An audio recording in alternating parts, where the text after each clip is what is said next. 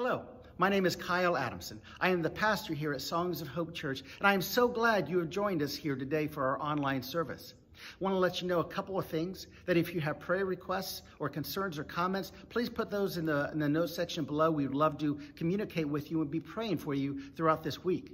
If you would like to give an offering back for all the great things that God has blessed you in your life, there is a link to our online giving below as well. Want to let you know that we meet here every Thursday night at 6:30 p.m. at Songs of Hope Church at 102 South 9th Street in Beech Grove. We would love for you to be our guest here, and we're happy that you've joined us online. We hope you enjoy our service today. May God bless you. I want to start off tonight by sharing a story. A long time ago, there was a very famous Russian man named Rudolph. And Rudolph was very famous in his village because he was really good at predicting the weather. In fact, he was really good at predicting when rain was coming. Well, he was getting ready to go on, the six, on the 6 p.m. news that he always did every day. And this day he got on there and predicted a very harsh rainstorm that was coming in the middle of the night in that village. In fact, it was so harsh, he said it's going to be flooding like this village has never seen before. And so he gets home and his wife automatically starts arguing with him, says, Rudolph, how can you say it's going to rain? There's no rain in sight. We haven't seen a cloud in days. There's no way it's going to rain. I, I know that you have these predictions, and I know they, they always come right. And I know you love your Russian heritage, but there's no way it's going to rain. You're, you're wrong this time. And he said, No, I, I know my Russian heritage has never let me down. I know it's going to rain tonight. And they argued like this for hours. And finally, they even went to bed angry because they just couldn't agree. And, and Rudolph was sure it was going to rain. Well, middle of the night, it was a torrential rainstorm, nothing that this town had ever seen. And they both get up in the morning, they look out the window and see that there was water all around. Rudolph kind of looks at his wife and says, I told you it's going to rain. She looks at him and says, How did you know?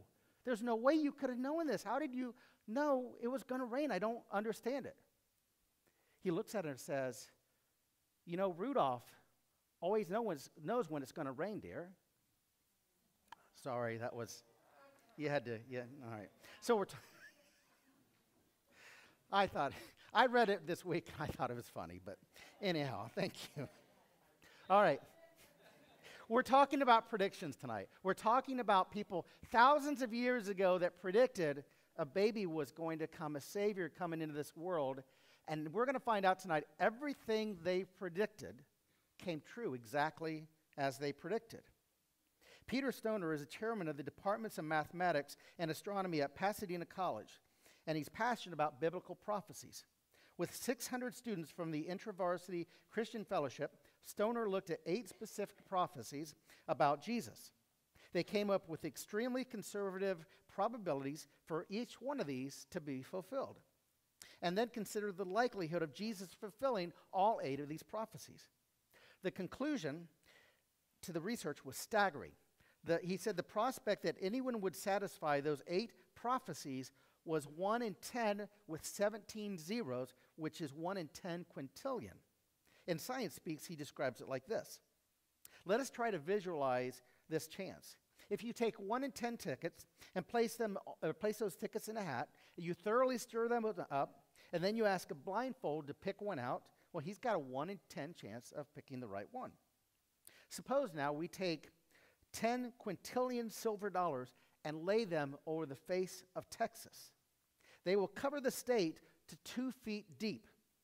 Now mark one of these silver dollars and stir. So you mark one of those dollars and you stir up the whole two feet of coins all over the state. So just think of Beech Grove. Think of Indiana. If you're walking and there's two feet of coins. Now we're talking about Texas. All these coins and one is marked. Blindfold a man, tell him that he can travel as far as he wishes, but he must, must pick up the one silver coin and say, I got the right one. Well, what chance would he have of getting the right one? Well, the same chance that the prophets would have had by writing these eight prophecies and having them all come true from one man, from their, their day to the present time, providing that they wrote this in their own wisdom, which is impossible, right? But that's what we're talking about these prophecies that came true from our Old Testament or, or the, the, um, the, the law and the prophets, as Jesus described them. So we have the Israelites who was God's chosen people from the Old Testament that had been told by a number of prophets about a Savior that was going to come into the world, a Messiah. And they were so excited, they couldn't wait for this Savior to come because they wanted to be taken, they, they wanted to be um, taken away from their captors. They wanted to be saved from the turmoil and the, the, and the, the captors around them. So they were waiting for the Savior to come, and they didn't know when it was going to come. But God had their own plan. See, these, these people had a plan of how they thought God would bring the Savior, the Messiah. They thought this, this warrior coming in on a white horse to come to fight and, and take down all of their enemies. But God had a different plan. But to truly understand the impact of the birth of Christ and this Christmas that we're celebrating this, then we need to fast forward actually to the end. We're going to look at scripture from the end of Jesus' ministry. We're going to look at Luke 24, starting with verse 13. Now, just to give you a little bit of context of what's going on, so this is, the, this is what we usually celebrate at Easter here. This is when Jesus had been killed on the cross, he'd been crucified, and now Martha and Mary were going to the grave to take spices uh, and, and, fragrances to the grave, and they find out the grave, the, the stone is rolled away. There's nobody there, and they're told by an angel that Jesus is no longer there. He's, he's alive. And they go back to tell the other disciples who have been wondering what was going to happen next. And then Peter and John, they run to the, the, the cave and they try to find out where Jesus is. So this is following this. Now, Luke is, I love the, the Gospel of Luke. So you have the four Gospels Matthew, Mark, Luke, and John that share about the life of Jesus and, and everything that he uh, did in his ministry. And Luke was the physician. He investigated, he interviewed all the eyewitnesses who were around the life of Jesus to find out what was it really like, what really happened. And I'm imagining when he uh, talks about this, he interviewed the people that were on this particular walk. It says that same day, two of Jesus' followers were walking to the village of Emmaus, which was about seven miles from Jerusalem. So, just to put this in visual aspect, I'm going to walk a little bit. So, just imagine that we're going on a walk. So, a couple of the disciples are going on a walk. Seven miles, that's a long walk. So, they're going to be on this road for a while. They'd probably been at Jerusalem because they had been, they had the Passover that they had celebrated, and so they were probably walking back from this time. Well, as they walked along, they were talking everything that had happened. There was a lot of that had just happened in the town. As they walked and discussed these things, Jesus himself suddenly came beyond or, or came along and began walking with them. So I feel like this little ninja, ninja, Jesus comes up and stands right beside him, and they wonder, where did this guy come from? But they just keep walking. Somebody came out of the blue and walked with them. But God kept them from recognizing him. So God specifically did not want him to be recognized yet. And he asked them, what are you discussing so intently as you walk along? As if he didn't know. They stopped short. Sadness, sadness was all over their faces. Then one of them, Cleopas, replied, You must be the only one in Jerusalem who hasn't heard of all these things that have happened in these last few days. It's like, Where have you been, man? I mean, the whole town's been talking about this. What things, Jesus asked. Now, I can just imagine. I, I, love to imagine what it'd be like to be there. I can just imagine Jesus with a little smirk on his face, just thinking, what, what happened? Tell me about it. I'm not really sure what happened. They stopped short, or I'm sorry, okay, what things Jesus asked. So the things that happened to Jesus, the man from Nazareth, they said. He was a prophet who did powerful miracles. He was a mighty teacher in the eyes of God and all the people. But our leading priests and the religious leaders, they handed him over to be condemned for death or to death. And they crucified him. We had hoped, we really hoped that this guy was the one, that he was going to be the Messiah, that he would come to rescue Israel. These happened three days ago. So they had in their minds what was going to happen and how God was going to do the rescuing. They were determined that the Messiah was going to be somebody that was going to take down the Roman Empire, the people who had been um, putting them down all these years. Well, then some of the women from our group of the followers were at his tomb early this morning. The, the men continued to talk. And they came back with this amazing report. They said the body was missing. They had seen angels who told them that this Jesus is alive. And some of our men, they ran out to see, and sure enough, his body was gone, as the women had said. Then Jesus said to them, You foolish people. He goes, You find it so hard to believe that the, what the prophets wrote in the scriptures? He said, Wasn't it clearly predicted that the Messiah would have to suffer all of these things before entering his glory? Now, this is something that Jesus talked about. These two men weren't part of his 12 disciples, but they were followers of Jesus throughout his ministry. And so they would have known, they would have heard about these prophecies. You know, Jesus talked about this often in his ministry, and all the prophets that they would have been trained on from a childhood on up would have been told of all the things that would be happening, that would have to happen to the Messiah. And Jesus is saying, You don't know the connection? You didn't see the connection here? And by the time they were nearing Emmaus, the end of the journey, or I'm sorry, actually, I missed verse 27. Then Jesus took them through the writings of Moses. So they had a long time, and he went through all the teaching of, of Moses and all the prophets, explaining from all the scriptures the things that was concerning himself. And by the time they were nearing Emmaus, to the end of their journey, Jesus acted as if he were just going to keep on walking. But they begged him. They said, Stay the night with us since it's getting late. So he went in with them. So he, they must have really enjoyed his conversation. They wanted to continue this talk as they sat down to eat. He took the bread and he blessed it. He, then he gave it, he, he broke it and he gave it to them. And now these men would not have been in the upper room when Jesus broke the bread as he gave it to his other disciples, but something happened, and we don't know what. Maybe they saw the holes in his hands, the scars from being on the cross, but something happened where their eyes were open because it says, suddenly their eyes were open and they recognized him at this time. But from that very moment, he disappeared. Now, how he disappeared, I don't know. I don't know if it's like one of those magician tricks where you throw a, a, a thing down, a cloud of smoke comes up and he was gone. But Jesus, he's God. He can come and go as he wants. And so they said to him, they said to each other, didn't our hearts burn as, we, as he talked with us on the way to, on the road and explained the scriptures to us? How do we not know this? They're saying. And within the hour, they were on their way back to Jerusalem. So even though they'd just been on this long walk, that's a long walk, and they would have been exhausted, they were so excited that they would walk with Jesus, they had to go tell everybody as soon as they could. And within the hour, they were on their way back to Jerusalem. They found the 11 disciples and the others who had gathered with them, who said, The Lord has really risen. He appeared to Peter.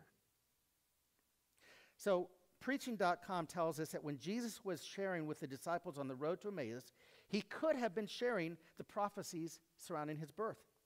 Jesus could not have fo- forced these prophecies to happen. These were God ordained prophecies that spoke to God's ability to work out the smallest details from where Jesus was born to the ne- unique circumstances of his birth to the actions of his parents where he w- or when he was born. In fact, here are several of the Old Testament prophecies that were fulfilled concerning Jesus' birth. We see from the first book of the Bible, Genesis 22:18 tells us all the nations would be blessed through Abraham's offspring, which they were. Numbers 24:17 tells us Jesus would be from the line of Jacob, which he was.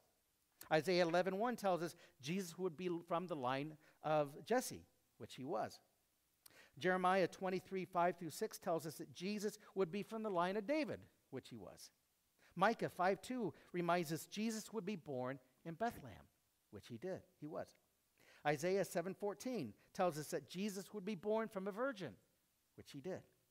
Isaiah, or, um, Isaiah 9, 6 through 7 tells us a child would be born and the government would be on his shoulders, which it was.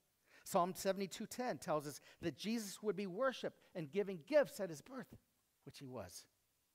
Jeremiah 31:15 tells us that King Herod would murder children in an attempt to kill Jesus, which happened. And lastly, Hosea 11:1 tells us that Joseph would be Joseph would be warned to take Jesus to Egypt for a time to protect him, which he did. All of these prophecies came true exactly how God had planned them and told them thousands of years before. God had this all worked up, He had a plan. I always wonder what the people, uh, especially what the Jewish people were thinking after they saw Jesus alive. The ones who thought that he was just faking all this, that he couldn't have been the Messiah because it wasn't how they had, uh, had it pictured. A few weeks ago, I uh, had the chance to go to a really big ball game. Now, most of you know I'm a big sports fan. I'm a big uh, Notre Dame uh, uh, football fan, and I've been to a number of games over the years. I had a, uh, a nurse pract- or a, a, physician assistant, a dermatologist that um, I work with that went to Notre, Notre Dame, and she asked me, she goes, I have tickets for this really big game the next day. It's Clemson and Notre Dame at Notre Dame Stadium. Now, Clemson is a big name. They were top five ranked at the time, and it was going to be a really big deal. It was the next day. She said her husband was sick, and she goes, I don't think I can use these tickets. I have two tickets for the Saturday night game, and I've also got a hotel uh, reserved if you'd like them. And now, normally, I would jump at this. I love going to games, and I would find any reason to go to this game. But a couple things made me stop. First of all, I thought, okay, I actually do have plans the next night. So this was the night of the center chicken noodle dinner, um, which I even talked to my wife when I was sharing. I, I, you know, it's one of those things you just throw it out there and say, you know, I got invited these to this game. What do you think? And she said right away, she goes, it's chicken noodle dinner. You're fine if you want to go to the game. She gave me approval right away. But then I thought, okay, it's Saturday night. I preach downstairs uh, to Beech Grove United Methodist Church every Sunday morning. And I'm thinking this is going to be a long drive the next morning, even though it was the time change that weekend. And um, it was the time change, and I would have to have this long drive. I'd have an extra hour. But honestly, what it came down to is this Notre Dame had lost its starting quarterback the first after the actually the, the, second game of the season. They'd been on a backup and they'd had some really tough losses throughout the year. And I'm thinking, if I go to this game, this night game, there's going to be a ton of these other Clemson fans. We're probably going to lose big. I'm going to. It's going to be terrible being around all those people. Then the drive on top of that. It's like I just don't want to go through that. So I just I told her, you know, I do have plans. I'm not going to be able to use those tickets. And she, actually, she ended up going with her dad, which is good for her. Because the next day, if you don't know, I was watching the game that night. Notre Dame went up a touchdown in the first quarter. Then they go up two touchdowns. And I'm thinking, okay, and I'm an optimist, but even then I'm thinking, okay, when, when's it going to come? They're going to come back. They're going to win because they're a top five team, and we're not. We kept building on that lead. The entire game, Notre Dame dominated that game. So much so that when the game was over, most of the fans stormed the field. I could have been on that field. This is a picture of the field that I've never been on. Hindsight is 2020. Do I wish I would have gone? Absolutely. I could have had tickets to this game, but no, I thought I knew what was going to happen. Just like the Jewish people, the Israelites figured they knew what the Messiah was going to be like. But when they saw Jesus back alive, they're like, what did we do? Jesus is often right beside us in our times that we're lonely and despair, having no idea that He's there walking beside us, just like the two men. You know, I've, I've, shared many stories over the past few years about our ice cream coffee shop, his place, and, and, and I've shared how it was the time of my life where I've never felt more in despair, more in fear of what was going to happen because early on in the life of this business, I knew it was going to fail. We had enough signs, we lost enough money that I knew this was not going to be the success that I predicted. Now, there were so many times during this year that we were open that I thought, God, I know you're going to turn this around because this is a Christian business. We wrote scripture. We prayed on the cement floor before we put the hardwood floor down. We have live Christian music that I know you want people to hear. We're, we're, we're doing so many things for the name of the Lord, so we know, I know you want this to work. But it wasn't. And I couldn't understand why God wasn't allowing this to work because I thought I was doing it the way He wanted me to do it. He was with me during that time, and I, and I never lost faith or, or lost trust in Him, but I wondered why wasn't this working out the way I thought it should? Even though I know His ways are greater than my ways and His thoughts are higher than my thoughts, as the heaven is the earth. We've been told that He knows much more than me, thank goodness. But why wasn't this working out? Little did I know a few years later that I would get stirred from the Holy Spirit to go to seminary that I would have never thought to have done before, or that I'd be, uh, become a, a pastor, that I would be preaching here that we never saw coming. That wouldn't have happened if God hadn't to take, take me out of this, this store that I thought should have been successful in a different way. He was with me during those times. You see, Jesus is often right beside us in those times. We know his ways are higher. We need to understand that.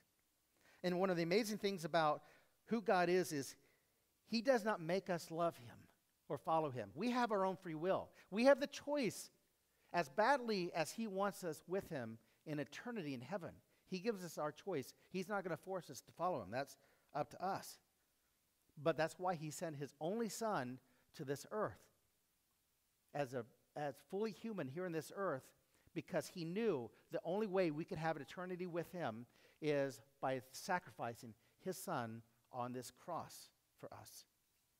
They were told, they were told that someday Messiah would come back. We're told right now that Jesus said he's going to come back and he will be the judge in the earth. We don't know when that's going to be. He came in the form of a sacrifice so that we all could be with God. And I want to end with the scripture, Isaiah 9 6, the full scripture. And this is the one we think of so often when we think of Christmas. He goes, For to us a child is born, and the government will be on his shoulders, and he will be called Wonderful Counselor, Mighty God, Everlasting Father, Prince of Peace. So I just ask you tonight choose tonight to follow him, even when the outcome isn't what you'd hope for, even when it isn't what you expected. Trust in the one God who gave up everything for you. Let's pray. God, I thank you for the prophets. I thank you for so many promises that we take for granted. We think we can do things our way, and sometimes they're better than your ways. Help us, help me learn to trust you in tough times and know that, you know, if we just put our full trust in you and say, God, what do you want me to do? That you have a perfect plan laid out for us. And even when we go through tough times, because we know this earth, this earth is a fallen earth, we know there's going to be trouble on this earth. You warned us about that. But we're here for such a short time compared to eternity. Help us through our tough times. Walk with us just like you did those disciples so many years ago. Let us know that you're with us. It's in the powerful name of Jesus we pray. Amen. Oh, little town of Bethlehem, how still we see thee lie above thy deep and dreamless sleep. The silent stars go by. Yet in thy dark street shineth the everlasting light. The hopes and fears of all the years are met in tonight. Cause I still believe in your faithfulness.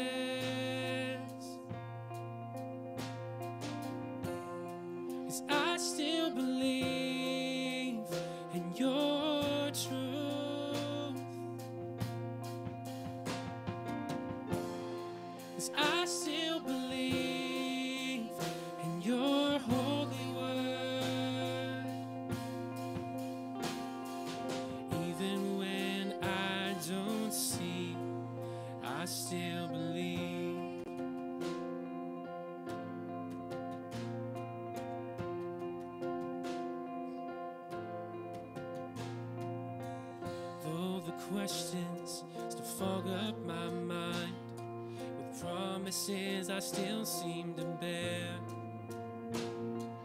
Even when answers slowly unwind, it's my heart I see you prepare. But it's now that I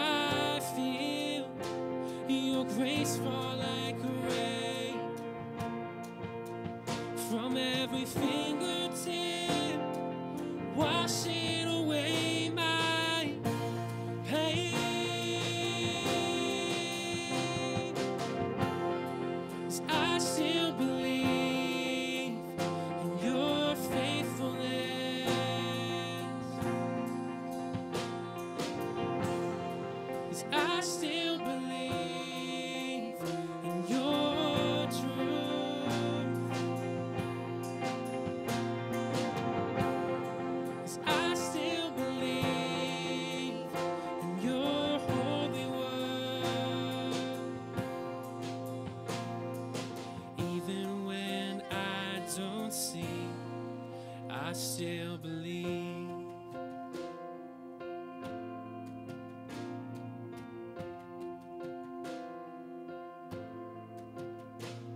Oh, holy child of Bethlehem, descend to us, we pray.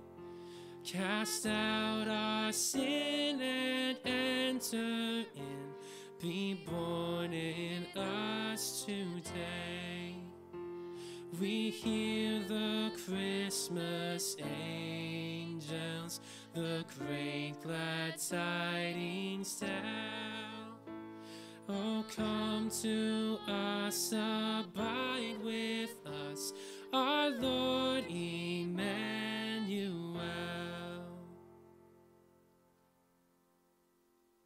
First of all, next week. Next week, of course, we're going to have the free, we're having a free pizza, pizza dinner after the service. We'd love for you to, to come and invite people to come with you and fellowship. But we're going to talk about what the, the um, birth of Christ was like from Mary's perspective. We're going to look at a different perspective and think, what was she going through as a teenager at the time? And we're going to keep celebrating through Christmas songs and others. But I, I was just thinking as that song was play, being played, I know people in this room are really struggling with a number of issues right now. And I know those issues are, are, are, varied, but just know that when you're struggling with those, whether it's the Christmas season or beyond, think of the, the disciples who were walking to Emmaus. Think that Jesus is walking there with you. Trust in him. Talk to him. Pray and have a communication with him. He wants you to, to know that he's there for you. Go in peace in the name of Jesus. Amen.